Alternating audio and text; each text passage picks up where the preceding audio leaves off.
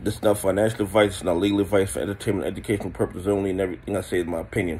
Please don't make any financial decision based on anything I say in these videos. That being said, hit the like button, subscribe button, our YouTube algorithm stuff so you get the videos I put them out. See, I'm thinking, see, I'm analyzing that data, but like I tell every day, the data release us is false, meant to give us a false narrative market so we can make bad trading decisions. Listen, we all know FTX filed for bankruptcy. We all know that they have over, what, a million creditors that they can't pay. And we all know that a lot of people are going to lose billions of dollars, even when all this thing is hashed up. When it goes through bankruptcy court, people are going to lose money, and there's no way around that. But here's the thing that that that that kind of irks me about the situation. On top of the fact that they robbed retail investors, pension funds, and some institutions for billions of dollars, FTX is asking the court to give them permission to pay the bankruptcy lawyers $2,165 an hour. Okay?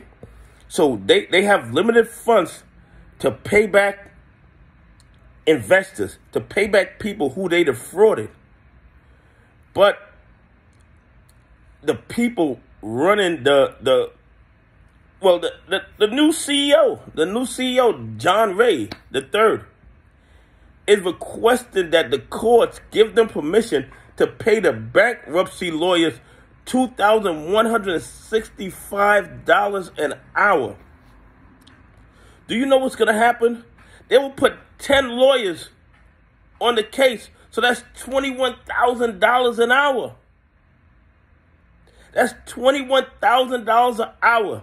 They will eat up all the available cash, and there will be nothing left for the investors, nothing left for the people they defrauded.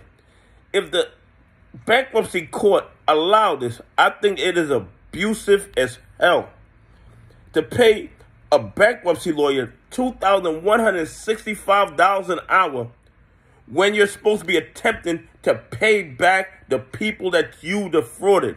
The lawyers are going to eat up all the capital and there will be nothing left for the people who were defrauded. Anyway, have a great day. God bless. And please leave some comments. Let me know if you think it's fair to let the lawyers eat up all the capital at $2,165 an hour. Have a great day. God bless. I appreciate y'all on this journey with me.